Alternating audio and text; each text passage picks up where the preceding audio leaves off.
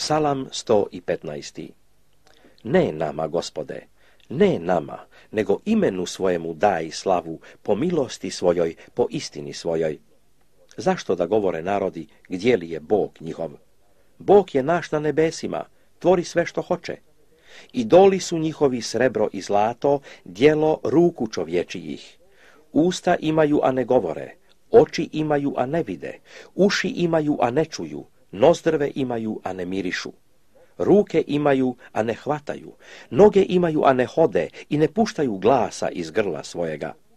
Taki su i oni koji ih grade i svi koji se uzdaju u njih.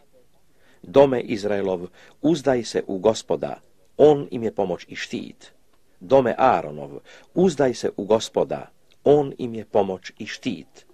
Koji se bojite gospoda, uzdajte se u gospoda, on im je pomoć i štit. Gospod nas se opominje, blagosilja nas, blagosilja dom Izraelov, blagosilja dom Aaronov, blagosilja one koji se boje gospoda, male i velike. Da vam gospod umnoži blagoslove vama i sinovima vašim. Gospod da vas blagoslovi, tvorac neba i zemlje. Nebo je nebo gospodnje, a zemlju je dao sinovima čovječijim.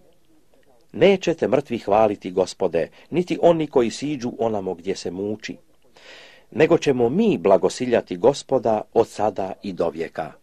Aleluja.